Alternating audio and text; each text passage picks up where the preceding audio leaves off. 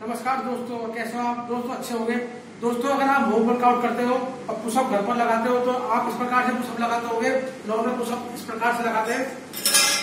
इस प्रकार से आप नॉर्मल पुशअप लगाते हो। दोस्तों, नॉर्मल पुशअप अगर लगाते हो तो दोस्तों, स्टैंड से पुशअप लगाएँ। स्टैंड से पुशअप लगाने का ये फ़ायदा है, आप इस प्रकार से दो स्टैंड ले आए, इस प्रकार से पेयर ले आए। स्टैंड से पुशअप लगाने से बॉडी पूरी नीचे तक जाती है। इस प्रकार से चेस्ट पर पूरा लोड पड़ता है। तो इस प्रकार से स्टैंड से पुशअप लगाएँ दोस्तों। और आप ये अपर चेस्ट डाउन है तो अपर चेस्ट के लिए आप लाइन पुशअप इस प्रकार से लगाएँ। कोई ऊँचा स्थान देखे, इस प्रकार से बैर हो, चाहे कोई बेंच हो, इस प्रकार के आपके पास तो इस प्रकार से लाइन पुशअप लगाएँ, स्टैंड से लगाएँ। स्टैंड से पुशअप लगाने का फ़ायदा ये है चेस्ट का पूरा लोड पड़ता है। तो इस प्रकार से दोस्तों डी क्लाइन पुशअप लगाएँ। अगर आपके अपर चेस्ट डाउन है तो डीप लाइन पुशअप ज़रूर लगाएँ। धन्यवाद।